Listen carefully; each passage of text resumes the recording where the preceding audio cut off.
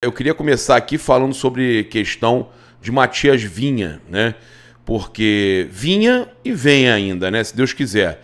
É, o Flamengo tem tudo encaminhado com o jogador, tudo acertado diretamente com o jogador, né? o, o, o staff do atleta.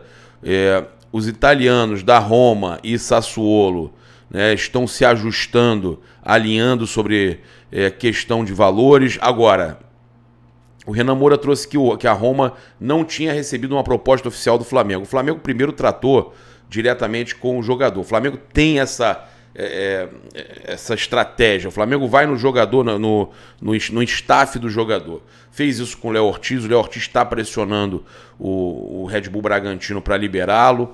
Né? É provável que chegue a esse acerto do Léo Ortiz. Está né? tudo muito próximo de acontecer. Tem esse acerto sempre com o jogador, com o staff para depois resolver a situação diretamente com o clube.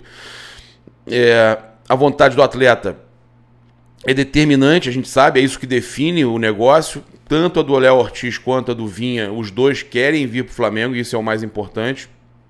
O Flamengo ofereceu quatro anos de contrato ao Matias Vinha, segundo o Júlio Miguel Neto, nosso amigo, parceiro aí. Né? O Flamengo queria também desembolsar algo em torno de 7 milhões de euros no máximo, né, pagamento parcelado, né? E aí as conversas aí continuam.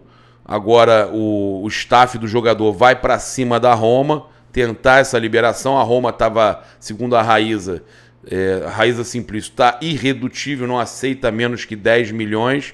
Né? É, são negócios aí considerados encaminhados aí pelo, pelos é, veículos e os principais jornalistas, jogadores que querem estar no Flamengo, que querem vir para o Flamengo, mas que é, é, sempre assim, é sempre essa novela, e novela, as novelas têm, têm dado bons frutos ao Flamengo agora, essa do De La Cruz acabou que, por mais que tenha pago a multa, o jogador aceitou, veio para o Flamengo, se acertou, a gente disse que ele tinha, tra... a gente trouxe aqui no canal que ele tinha dito sim ao Flamengo, e está aí, já é o primeiro jogador do Flamengo contratado, então é, as conversas entre Flamengo e, e staff do Matias Vinha, que tenta essa liberação na Roma, tenta apresentar esses 7 milhões e ver se a Roma libera, é, que tá difícil, eles querem 10, elas continuam. O Flamengo é, tem aí já um acerto de bases salariais e tempo de contrato, 4 anos, né? Com o, o Matias Vinha, o lateral esquerdo que é, seria assim importantíssimo para a gente, né? Porque o Felipe Luiz saiu, né? se aposentou. É, e aí o torcedor do Flamengo está inquieto. E aí, contrata alguém, só vai ficar no De La Cruz? Não, gente. Não vai ficar só no De La Cruz. Agora, falar sobre esse efeito dominó. Até o pessoal lá no meu grupo VIP foi muito bem. Esse efeito dominó que está começando no Corinthians, né? Matias é, Rojas aí entrando contra o Corinthians porque não está recebendo pagamento de direito de imagem, uma série de coisas. Pode gerar outras situações que podem gerar transfer ban na FIFA. É, o Corinthians, então, ainda assim, continua no mercado querendo contratar. A gente vai falar aqui agora sobre isso. É importante só para desenhar para vocês a, o que para a gente entrar nessa questão aí. Thiago Maia já falou ontem que o Corinthians está é, se encaminhando para contratar o Thiago Maia, o Fausto Vera viria para o Flamengo. É, pelo menos são essas informações que estão chegando. Isso aí já tinha sido trazido pelo, pelo Cereto, né? Teve gente que desmentiu o Cereto e acaba que agora a informação do Cereto vai se confirmando, né? Não necessariamente pelo Gabigol, mas tinha coisa envolvendo, tinha negociação e, e oferecimento e tal envolvendo troca de jogadores é, saber se vai acontecer mesmo, se o Flamengo vai aceitar. A Raíza também trouxe que o Estudiantes de La Plata demonstrou preocupação com as recentes notícias envolvendo o Corinthians e suas dívidas com Matias Rojas e com o Argentino Júnior por Fausto Vera. Essa questão do Fausto Vera é preocupante. É, e aí eu, eu vou explicar para vocês o que deve acontecer. O Flamengo mandaria o Thiago Maia para o Corinthians, o Fausto Vera viria para o Flamengo e, tem uma, e temos uma outra informação aqui, tá? E aí o clube teme não receber do Corinthians por Léo Godoy e prefere negociar o jogador com o Atlético Paranaense, tá? Então, Flamengo perde uma oportunidade aí. Léo Godoy indo para o Atlético Paranaense, excelente jogador. E aí eu, eu explico para vocês o seguinte: a situação envolvendo o Fausto Vera, Flamengo e, Corinthians trocariam Thiago Maia por Fausto Vera pau a pau e o Flamengo assumiria a dívida do Corinthians né, com o Argentino Júnior, tá? Então é, é uma questão aí que o Corinthians vai empurrando com a barriga e aí renegocia, traz um outro jogador, é, o outro assume a dívida dele. É uma loucura, cara.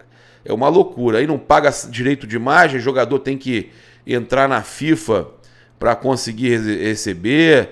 Olha, é, eu falo para vocês, eu, eu sinceramente não, não, queria estar tá na, na pele de jogador que tem que ir pro Corinthians para receber, não. Né? Eu acho hiper arriscado, hiper arriscado. Agora, o Thiago Maia quer ir, beleza. Fausto Vera vem, os torcedores estão aprovando aí a, a troca. Se isso realmente acontecer, que seja o melhor para o Flamengo. É, ainda sobre a questão aí para falar com vocês envolvendo Flamengo, Corinthians, o Corinthians agora apareceu querendo o, o Everton Ribeiro, cara. Teve reunião ontem, Flamengo e Everton Ribeiro se aproximaram. O Ribeiro apresentou uma contraproposta que acredita-se é possível que o Flamengo aceite e né, cheguem a um entendimento ali. E a chance do Everton Ribeiro ficar no Flamengo, ela existe, é total, ela é muito grande. O Everton deve continuar no Flamengo. Ele tem menos de 72 horas aí de contrato com, com o Mengão, mas a gente sabe que o desejo do jogador é ficar no Flamengo. Ele quer continuar no Flamengo. O Ribeiro quer continuar no Flamengo, tá? Então a gente tem aqui essa, essa, essas variáveis. O, o Ribeiro quer ficar no Flamengo, já teve reunião positiva. Aí vem o Corinthians e quer o Everton Ribeiro também. Se não renovar com o Flamengo, ah, tem, vai ficar sem contrato, é jogador livre no mercado, né? Então a gente quer o, o Everton Ribeiro. Só que ele já falou que ele deseja continuar no Flamengo, já está bem encaminhado, já está tendo reunião com o Corinthians, nem começou a ter reunião ainda. E o Corinthians, pô, paga uma. É complicado. Paga, tá pagando nem a marmita, né, meu parceiro? Pô, e aí, pô, vai fazer o quê, cara? Aí o pessoal querendo é, dizer que pô, o Corinthians vai contratar o Everton Ribeiro, vai contratar o Everton Ribeiro só se realmente ele, ele zerar todas as possibilidades com o Flamengo. Só que aí o, o, o Corinthians está querendo oferecer dois anos de contrato ao Everton Ribeiro. É, fazer o que o Palmeiras fez com, com, com o Bruno Henrique. Né? O Palmeiras ofereceu três para o Bruno Henrique. Mas quando o Corinthians faz esse movimento, acaba que está fazendo a mesma coisa que o Palmeiras fez com, com o Bruno Henrique. Eu acho que se, se o Ribeiro chegar ao ponto, eu acho que não vai chegar nesse ponto, mas se chegar a esse ponto dele pegar isso, for Flamengo, ó, tenho aqui dois anos no Corinthians. Vai lá, obrigado, valeu, obrigado por tudo, segue tua vida, tá? Flamengo não pode ficar aceitando, né, de todo jogador. É, pô, o negócio estava bem encaminhado, chegando perto do acerto. A gente ontem falou, teve a reunião. Aí vem o Corinthians e está interessado. É, Cara, agora a notícia boa. Vamos lá, falar na notícia boa. É, contrato aí definido, aprovado, né? O maior contrato da América. O Flamengo hoje tem a maior camisa da América e o maior contrato de patrocínio. A Pixbet é a nova patrocinadora master do Flamengo. Na noite de quinta-feira, o Conselho Deliberativo do Flamengo aprovou de forma unânime, unânime, o novo patrocínio Master, 170 milhões em dois anos, 85 milhões por ano. Ela vai ocupar a região Master aqui do uniforme. Né? Parabéns aí ao Flamengo. Tá? E aí, é, o BRB passará a ficar aqui na Homoplata, continua parceiro do clube, pagando 6,2 milhões é, nos próximos três meses. O ABC da construção, que ocupa o espaço no short, passou de 6,3 milhões para 7,1 milhões. Com os aumentos nos patrocínios, a camisa do Flamengo passa a valer 225,8 milhões, tá? É, Pixbet 85 milhões por ano, Adidas 69 milhões por ano, Mercado Livre 21,5 milhões por ano, Sil 12 milhões por ano, ABC 7,1 milhão, milhões por ano, BRB 6,2 milhões, TIM 5 milhões, Assiste Card é, 20 milhões, né? Então o Flamengo aí chegando é, a esse, esses números aí avassaladores, né? É o maior clube da América em patrocínios. Aí tem, ainda tem o, o, o Neto, né? Que falou que o, o Corinthians era o time que tinha maior patrocínio, maior torcida, é, maior tudo, né? Maior poderio de, de, de marketing, de engajamento. Olha, eu vou falar para vocês. É só rindo mesmo, né, cara? Só rindo porque eu vou eu vou falar a verdade para vocês, cara. Esses caras eles sabem. Eles sabem a realidade. Eles jogam pra galera pra, pra ganhar engajamento. Não é possível, cara. Como é que pode falar que o, que o Flamengo. que o Flamengo, o Flamengo tem menos engajamento, menos patrocínio que o Corinthians? A realidade tá aí, viu? Tá vendo? Olha só, estão passando vergonha, né? Bem, vamos lá. Eu vou começar aqui falando sobre o atacante do Flamengo, cara, um dos mais promissores, uma joia. O Marcos Marinho tinha falado aqui no, pro, no programa Olho no Lance, que a gente faz terças e quintas às 11 da manhã. Ele tinha falado que o Flamengo muito provavelmente negociaria o Peterson, né, que é um gran, uma grande joia do Flamengo na base, negociaria com algum clube do Brasil para ele ganhar rodagem. Né? Então, o Atlético Paranaense tem conversas, segundo Vinícius Furlan e, e Thiago Marquezine, né? O, o, Atlético Paranaense tem conversas para contratar o atacante, o atacante Peterson, destaque na base do Flamengo. É, recentemente, o jogador de 19 anos despertou interesse de clubes da MLS e do futebol europeu. O Flamengo prefere ficar com o jogador, botar para rodar, né, como ganhar rodagem, como fez com o Matheus Gonçalves. A intenção do Atlético é que o atleta incorpore o time de aspirantes que disputará o Campeonato Paranaense no início de 2024. E vale lembrar que o empresário dele, o Marcos Marim, né, cuida também do Wesley e de outros jogadores, está avaliando tudo aí no mercado. Já falou que tem é, propostas para chegarem para o Wesley, tem aí tudo sendo avaliado e tinha avisado aqui no Olho no Lance que colocaria o Peterson aí num clube do futebol brasileiro da Série A para ganhar rodagem. Tá aí, ó, tá aí a, informação do Olho no Lance se confirmando.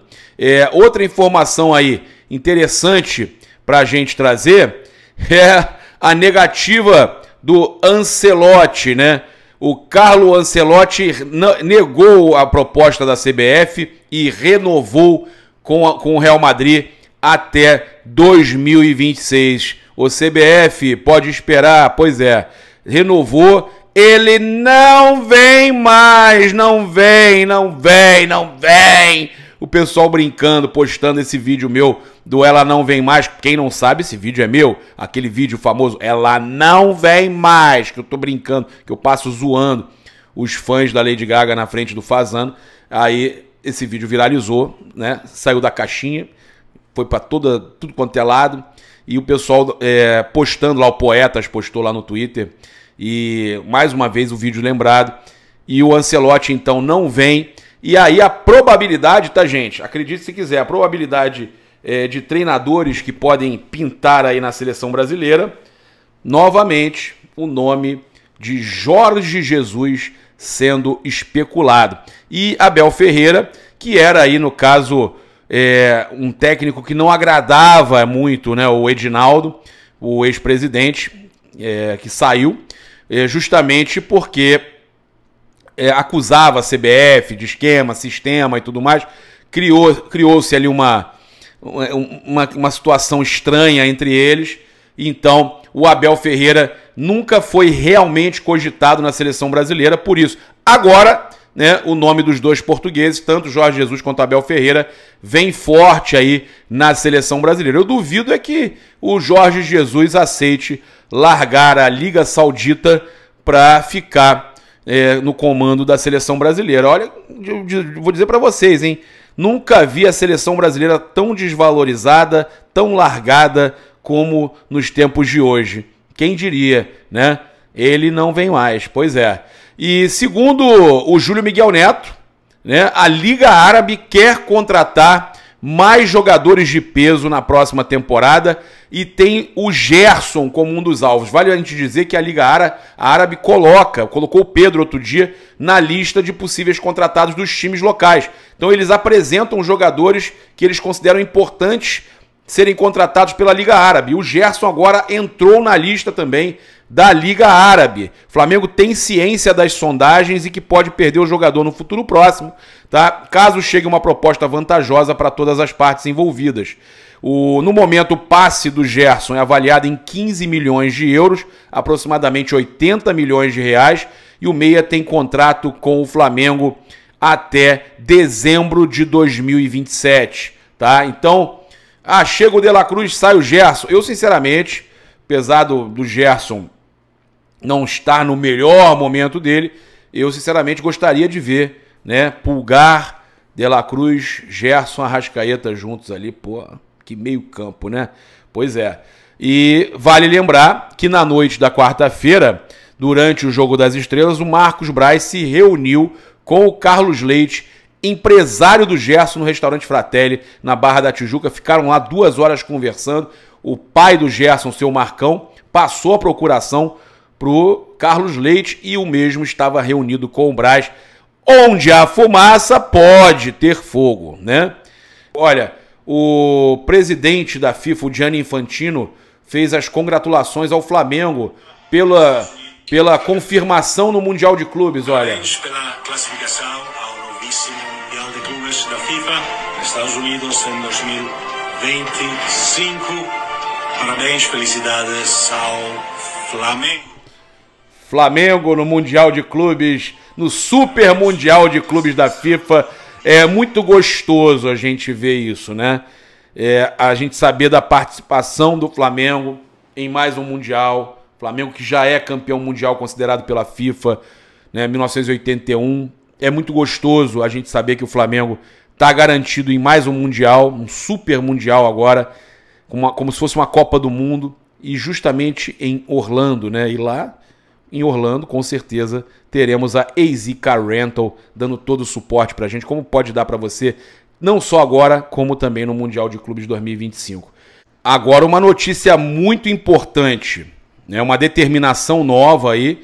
A Liga Árabe, a partir da temporada 24-25, os times da Liga Árabe poderão inscrever até 10 jogadores estrangeiros e relacionar 8 para cada partida. Até 10 e relacionar 8 para cada partida. Com essa medida, as equipes árabes devem chegar ainda mais fortes na próxima janela de transferência. Por isso eles estão olhando.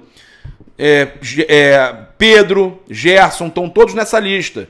Tem jogadores que estão nessa lista. O próprio Gabigol tá? Ninguém confirma, mas eu acredito que possa estar também nessa lista, porque já falaram do interesse saudita no Gabigol, tá? Então, tem alguns jogadores do Flamengo que figuram nessa lista aí da Arábia Saudita, que a partir de 24, 25, já no meio desse ano, poderão inscrever 10 jogadores cada clube, né, e relacionar 8 por partida. Isso aí vai ser uma revolução e os times árabes vêm fortes